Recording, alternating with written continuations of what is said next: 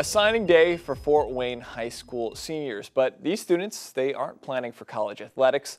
Fox 55's Drew Fry explains why Fort Wayne Community Schools wanted to recognize its Career Academy students going directly into the workforce.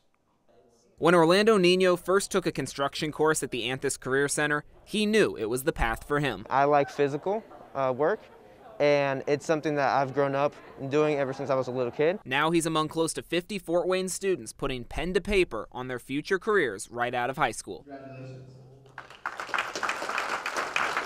I haven't been very good at like you know going to school, being on time, doing my assignments. I like going straight into work, and that's something that kind of motivates me to keep on going throughout the day and it's like what I love doing. While signing ceremonies are typically reserved for college athletes, Fort Wayne Community Schools wanted to recognize its Career Academy students who will soon take their talents right back into the community. They're choosing their career too, just like athletes. You know, I used to be an athletic director, um, so I know what that's all about.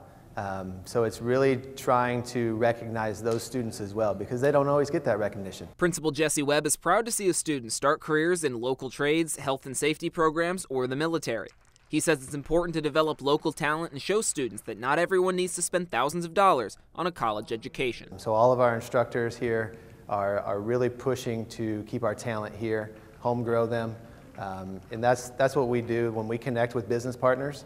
Uh, we talk about what can we do to keep the talent here in Northeast Indiana, in Allen County, in Fort Wayne. Webb says companies regularly contact the Career Academy to ask about filling job openings. He says there's an ongoing need for trade workers throughout Allen County. In Fort Wayne, I'm Drew Fry, Fox 55 News.